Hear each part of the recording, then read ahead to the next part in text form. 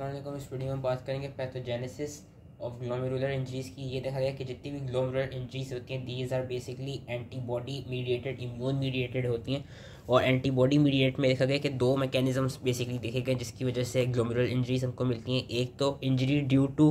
antibodies reacting in situ यानी within the glomerulus either by binding to insoluble fixed glomerular antigens यानी either binding to intrinsic antigens और by binding to extrinsic antigens and these extrinsic antigens are basically planted within the glomerulus तो जो इस तरह का भी antigen अगर intrinsic हो उसके साथ जाके एंटीबॉडी बाइंड कर जाए या कोई एक्सटेंसिक प्लांट हुआ, उसके साथ जाके एंटीबॉडी बाइंड कर जाए it will eventually lead within the glomerulus that will lead to injury of glomeruli और दूसरा मैकेनिज्म ये देखा गया कि injury resulting from the deposition of circulating antigen antibody complexes in the glomeruli तो सबसे पहले हम बात कर, ये दो बेसिकली मैकेनिज्म्स हैं। अब सबसे पहले हम बात करने के diseases which are cause by in situ formation of immune complexes यानी कि ग्लोमेरुलाई के अंदर एंटीजन और एंटीबॉडी का कॉम्प्लेक्स फॉर्म हो रहा है। उसमें हमारे पास कौन कौन सी एग्ज़ाम्पल आ जाती हैं? एक तो वही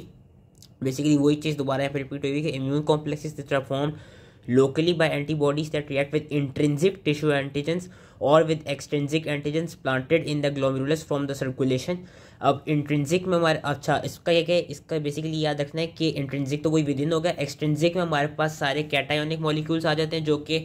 ग्लोमेरुलाई के एनायोनिक मॉलिक्यूल के साथ कंबाइन करेंगे। हमारे पास एक्सट्रेंसिक में जो बैक्टीरियल प्रोडक्ट्स होते हैं, वो आ जाते हैं। या हमारे पास एक्सटेंसिक में लार्ज एग्रीगेटेड प्रोटीन्स आ जाती हैं, जो कि बेसिकली मेसेंजियम के लेवल पर डिपॉजिट कर जाती है। Due to their size they can't pass easily और फिर उन प्रोटीन्स के खिलाफ जब एंटीबॉडीज़ आती हैं, आके जब रिएक्ट करती हैं तो वो वहाँ पर कॉम्प्लेक्सेस बना देती हैं। इसमें मेन चीज़ याद रखनी है कि जो डिज़ीज़ होती हैं which are cause by in situ formation of immune complexes इसमें ये देखा गया कि जो पैटर्न है ना इम्यून डिपोजिशन का और जो हमको इम्यूनोफ्लोरेंस माइक्रोस्कोपी से मिलेगा दैट पैटर्न इज़ ग्रैनुलर ये पैटर्न बेसिकली याद रखना है कि the pattern of immune deposition by immunofluorescence microscopy is granular और यहाँ उन्होंने आगे पिक्चर दिखाई भी है कि ये हमको इस तरह का ग्रैनुलर पैटर्न मिलता है इम्यूनोफ्लोरेंस से जो भी कोई ऐसी डिज़ीज़ हो जिसमें इनसाइड टू इम्यून कॉम्प्लेक्स की फॉर्मेशन uh, हो रही हो। बाकी उन्होंने ये बताया हुआ है कि देर इज़ ऑल्सो इसमें हमारे पास जो एक डिज़ीज़ आती है, वो मेम्ब्रेनस नेफ्रोपैथीज आती है। उसको मेम्ब्रेनस नेफ्रोपैथी इसलिए कहते हैं क्योंकि इलेक्ट्रॉन माइक्रोस्कोपी से इस तरह का क्योंकि बेसिकली ये देखा गया कि there is presence of numerous discrete subepithelial electron dense deposits and these subepithelial complexes या डेंस डिपॉजिट का मतलब है कि यहाँ पे हमको वो एंटीजन एंटीबॉडी कॉम्प्लेक्सेस मिल रहे हैं। Subepithelially and these subepithelial complexes with resultant host responses they result in thickened basement membrane appearance by light microscopy and this term is known as membranous nephropathy तो ये छोटा सा पॉइंट लिखा हुआ था, नहीं याद होता तो कोई बात नहीं, बस मेन जो इनका पैटर्न है वो याद रखना चाहिए कि ग्रेनुलर पैटर्न हमको मिलेगा। और जो ऐसी डिज़ीज़ होंगी which are cause by antibodies directed against normal components of glomerular basement membrane यानी ये कि यहाँ पे अब क्या हो रहा है कि इधर बेसिकली एक तरफ़ से कोई ऑटोइम्यून डिज़ीज़ हो रही है, कि इसमें हमको anti glomerular basement membrane antibody induced glomerulonephritis मिलेगा। Antibodies they bind to intrinsic antigens homogeneously distributed along the entire length of glomerular basement membrane which will result in diffuse linear pattern ये हमको linear pattern मिलेगा और ये एक हमको मिलेगा granular pattern granular pattern हमें कब मिलेगा? ग्रैनुलर पैटर्न हमें तब मिलेगा जब कोई ऐसी डिज़ीज़ हो जिसमें इनसाइड टू फॉर्मेशन हो रही है इम्यून कॉम्प्लेक्सेस को यानी कि ग्लोमेरुला के अंदर कोई भी इंट्रेंसिक या एक्सटेंसिक एंटीजन पड़ा हो, वहाँ पर एंटीबॉडी आए एंटीबॉडी एंटीजन के साथ जाकर रिएक्ट करे। जब वो रिएक्ट करेगी तो वो जो ये कहते हैं, बनाएगी एक जो इम्यून डिपोजिशन का जो पैटर्न बनाएगी, वो ग्रैनुलर होगा। वेयर एज किसी भी ऑटोम्यून डिज़ीज़ में क्या होगा? ऑटोम्यून डिज़ीज़ के केस में ये होगा कि जो ग्लोमरुलर बेस्ड मेम्ब्रेन के खिलाफ जो एंटीबॉडीज़ बनी हुई होंगी, वो आएँगी, वहाँ पे जाके वो ग्लोमरुलर नेफ्राइटिस कॉज कराएँगी और जैसे वो ग्लोमरुलर नेफ्राइटिस कॉज करा देंगी और जब एंटीबॉडी एंटीजन कॉम्प्लेक्सेस जब वहाँ पे फॉर्म करेंगी तो वो डिफ्यूज लीनियर पैटर्न के एंटीजन एंटीबॉडी कॉम्प्लेक्सेस फॉर्म करेंगी। ये दो मेन चीज़ें थी जो कि बेसिकली याद होनी चाहिए थी। उसके बाद इन्होंने ये बताया है कि glomerulonephritis resulting from deposition of circulating immune complexes हमने दो चीज़ें पढ़ी थी कि एक तो इंजरी किस तरह हो सकती है कि जो एंटी जो एंटीबॉडीज़ हैं, वो या तो ये कहते हैं इंट्रेंसिक या एक्सट्रेंसिक एंटीजेंस के साथ जाके बाइंड करिए। दूसरा हमने क्या पैटर्न पढ़ा था इंजरी का? दूसरा हमने ये पढ़ा था कि due to deposition of circulating यानी those antigen antibody complexes which are circulating in the body they then get deposit inside the glomerulus उसका फिर उन्होंने मैकेनिज्म ये बताया हुआ कि जो सर्कुलेटिंग एंटीजन एंटीबॉडी कॉम्प्लेक्सेस होंगे, वो क्या करेंगे? They would get trapped within the glomeruli and then they would cause injury to glomerulus अब जो वो सर्कुलेटिंग एंटीजन एंटीबॉडी कॉम्प्लेक्सेस होते हैं, उनमें से जो एंटीजन होगा that antigen could be of endogenous origin as seen in glomerulonephritis associated with S L E और I G N nephropathy or that antigen could be of exogenous uh, origin as seen is as seen in those glomerulonephritis which are associated with certain infections like bacterial uh, infection जिसमें हमारे पास streptococcal proteins आ जाती हैं। Hepatitis B या hepatitis C का infection हो गया जिसमें उनके जो एंटीजन्स होते हैं वो एक्सोजीनस होते हैं और हमको क्या कहते हैं सिफिलिस का एंटीजन या मलेरिया का एंटीजन और प्लाज्मोडियम फेल्सिपेरम और ट्रेपोनियम फिलिडम इन दोनों के जो एंटीजन हैं ये एक्सोजीनस ओरिजिन है। इनकी वजह से भी बॉडी में जब एंटीजन एंटीबॉडी कॉम्प्लेक्स बनेगा तो देर से चांस वो बाद में जाके किधर ग्लोमरुलाई में जाके डिपॉजिट कर जाए वहाँ पे इंजरी कॉज करने लग जाए। अब मैकेनिज्म क्या है? ग्लोमरुलर इंजरी का following immune complex formation whatever the antigen might be whether it's of exogenous और एंडोजीनियस origin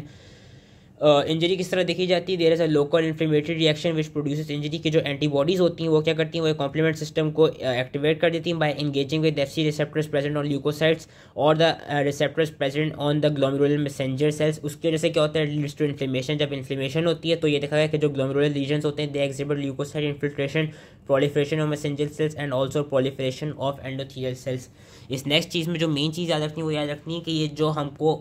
इम्यून कॉम्प्लेक्सेस मिलते हैं, वो चार डिफरेंट जगहों पर डिपॉजिट कर सकते हैं। दे could either deposit subepithelially as seen in acute glomerulonephritis they could either deposit subendothelially as seen in lupus nephritis और मेम्ब्रेनो प्रोलिफरेटिक ग्लोमेरुलनेफ्राइटिस और they could deposit within the mesangial cells ये ग्रीन ग्रीन जो figures है ना, ये इन्होंने बेसिकली वो दिखाई हुई है एंटीजन एंटीबॉडी कॉम्प्लेक्सेस दिखाए हुए जो कि डिपॉजिट कर रहे हैं। यहाँ पे सब एपिथीलियली कर रहे हैं, यहाँ पे सब एंडोथीलियली कर रहे हैं, यहाँ पे ये मैसेंजर सेल्स के अंदर कर रहे हैं as seen in I G A nephropathy और यहाँ पे ये मेम्ब्रेनस नेफ्रोपैथी दिखाई हुई जो हमने अभी पीछे पढ़ी थी मेम्ब्रेनस नेफ्रोपैथी के वो क्या कहते हैं, इधर बिल्कुल ग्लोमरुलर बेस्ड मेम्ब्रेन के लेवल पे जाके जो एंटीजन एंटीबॉडी के कॉम्प्लेक्सेस हैं, वो डिपॉजिट कर रहे हैं। इवेंचुअली क्या होता है कि ये जो आपके डिपॉजिट्स होते हैं एंटीजन एंटीबॉडी कॉम्प्लेक्सेस के they are then then eventually degraded by infiltrating neutrophils और बाय मोनोसाइड म्यूक्रोफेज सिस्टम और बाय मैसेंजर सेल्स और बाय एंडोजीनियस प्रोटीएसिस इन, ये सारी चीज़ें क्या करती हैं? इन डिपॉजिट्स को डिग्रेड कर देती हैं। और ये नॉर्मली पोस्ट एप्टोकोको ग्लोबुलर नेफ्राइटिस के केस में देखा जाता है कि जो डिपॉजिट्स हैं, ये रिपीटेडली डिपॉजिट होकर डिग्रेड हो रहे होते हैं। लेकिन कभी कभी क्या होता है कि अगर कोई क्रॉनिक कंडीशन हो लाइक वायरल हेपेटाइटिस हो, ऐसे उस केस में जो डिपॉजिट्स होते हैं, ये they take they basically take a lot of time in degrading तो वो जो जो डिपॉजिट हुए होते हैं, वहीं पे एकोमुलेट करने लग जाते हैं। बाकी उन्होंने बाद में देखा है कि अगेन ये जो डिपॉजिट्स होते हैं it depends upon the antigen के डिपॉजिट किधर होंगे। एक तो वो एंटीजन का वो क्या साइज़ क्या है? दूसरा एंटीजन का अपना मोलिकुलर चार्ज क्या है? अगर तो कोई हाईली कैटायोनिक एंटीजन होगा तो उस तरह के जो एंटीजन एंटीबॉडी कॉम्प्लेक्सेस होंगे, वो हमको सब एपिथीलियल लोकेशन में मिलेंगे। अगर कोई हाईली एन आयोनिक एंटीजन होगा तो जो उसके एंटीजन एंटीबॉडी कॉम्प्लेक्सेस मिलेंगे, वो हमको सब एंडोथीलियल ही मिलेंगे। और अगर कोई न्यूट्रल चार्ज का वो होगा एंटीजन होगा तो उसके जो हमको डिपॉजिट्स मिलेंगे, वो हमको मिसेंजियम के अंदर मिलेंगे। तो ये चीज़ भी याद रखनी है कि highly cationic antigen is depositing in sub location highly anionic is depositing in sub endothelial location where neutral charge antigen is depositing inside the mesangium and ये देखा गया है कि immune complexes which are located in the sub endothelial portion of the capillaries and in the mesangial region they are accessible to the circulation and more likely to be involve with the inflammatory process where as those immune complexes which are confined to sub epithelial location they usually have a non inflammatory pathology basically ये ये इस paragraph में उन्होंने ये समझा है कि अगर कोई भी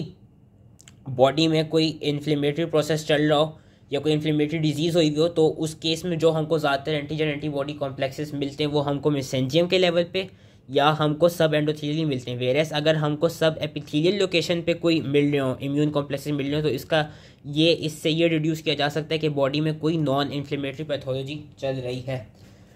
तो मोस्ट इंपॉर्टेंट याद रखना है कि जो ग्लोमरुला में डिपॉजिट्स एंड वो जो ग्लोमरुला ग्लोमरुला की जो भी इंजरी होती है, वो ज़्यादातर एंटीबॉडी के रिस्पॉन्स से ही होती है।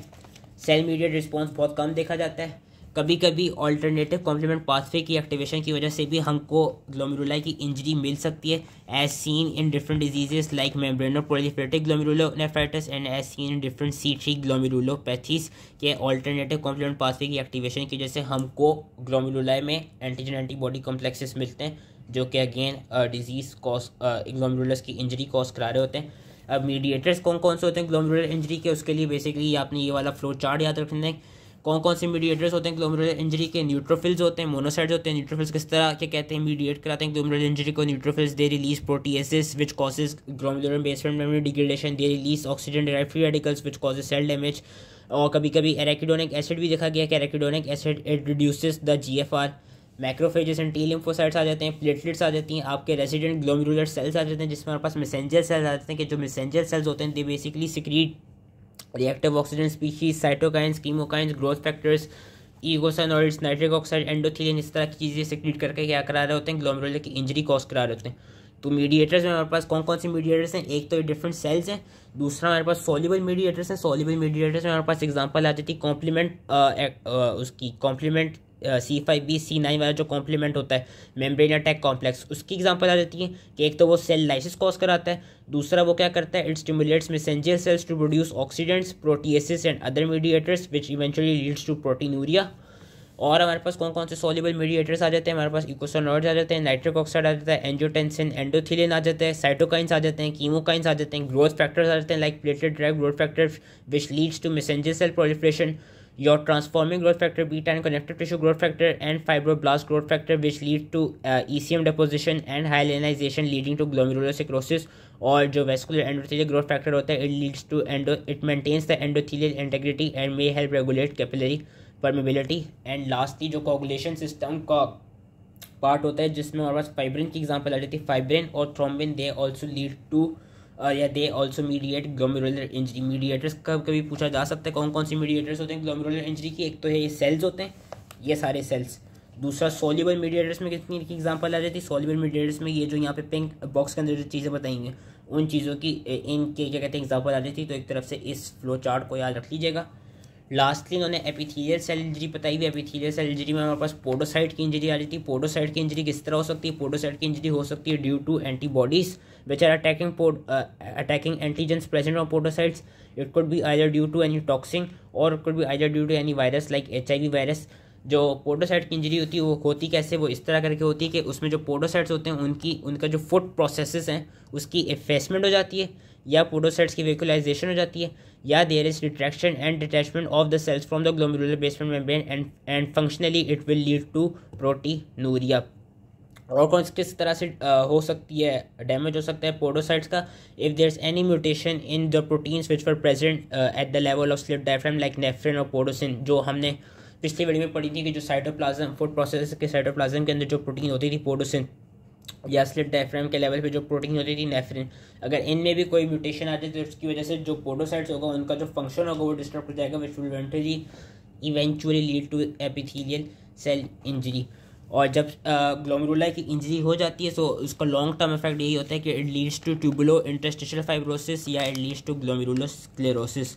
so I hope ये वीडियो इसलिए समझ में आ गई है। उसमें बस मेन चीज़ उन्होंने जो याद रखने की थी कि जो पैथोजेनेसिस बताई हुई ग्लोमरुलर इंजरी की। ये दो प्रोसेसेस आपको पता होने चाहिए कि एक तो मेन चीज़ ये याद रखनी है कि एंटीबॉडी ही होती हैं जो कि ग्लोमरुलर इंजरी कॉज कराती हैं। अब वो एंटीबॉडीज़ किस तरह कॉज करा सकती हैं? इन दो प्रोसेस की वजह से कि वेदर आइदर दी विल